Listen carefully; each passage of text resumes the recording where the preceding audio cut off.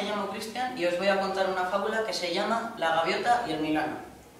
Érase de una gaviota que volaba tranquila por la playa. Comió un pez, pero el pez era demasiado grande y la gaviota no podía respirar. Se quedó en la playa. La vio un milano que pasaba por ahí y dijo, eso te pasa por no superar tus propios límites, sabiendo perfectamente cuáles son. ¿Sabes cuál es la, la... La gaviota, la gaviota, Sí, ¿la gaviota qué? que, que volaba y se comía un pez muy grande Sí. y se moría. A ver, ¿de qué va la fábula? Le, le quedó un pez, un- le quedó un milagro, se ha muerto porque se ha comido el pez muy grande. Muy bien, entonces... Eh, eh, ¿Sabéis cuál es la? No superéis vuestros propios límites si no os habéis preparado para ello. ¿Tú me puedes contar de qué ha ido el cuento? ¿Y tú? ¿De qué ha ido el cuento? ¿Tú me lo sabrías contar? Sí, a ver, ¿de qué ha ido? Que el pez se ha, mu- se ha morido y, y, y, y el pez se lo ha comido. Sí. ¿Y tú sabrías decirme de qué va? ¿Alguien sabría decirme de qué va el cuento? Yo, yo, en mi abuela el labio que va de confiar. Mm. ¿Y tú?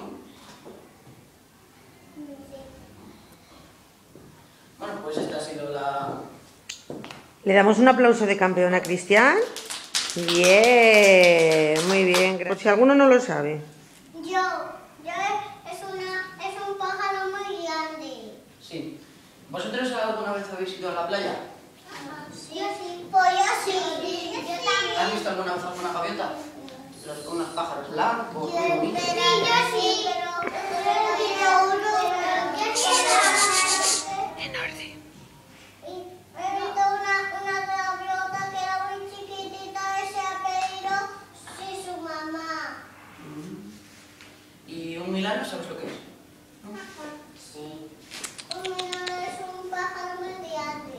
Sí, pero ¿sabes lo que, ¿sabes lo que es un águila? Un águila es, pues, es un pájaro. ¿No lo habéis visto alguna vez en la tele? En algún Sí, sitio? sí, sí, yo sí. Yo también. Yo también. En la tele. Sí, los que, sí, los que vuelan y se les ponen aquí a los dueños, en el brazo.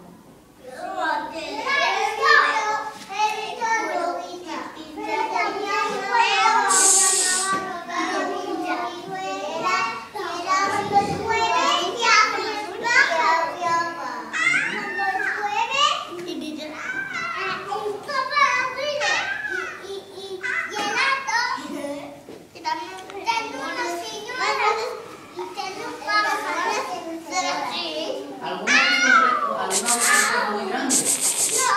¿Cómo Yo era? también. Pero Sí, de grande el pez. Sí, pero he visto una guiralea que era un pájaro muy grande y tenía el picaba así de larguísimo. Y me picaba así. ¿Picaba? Sí. Ah, la águila. Darle el, apla- el aplauso fuerte, fuertísimo, que os lo ha explicado muy bien. Muy bien, Cristian.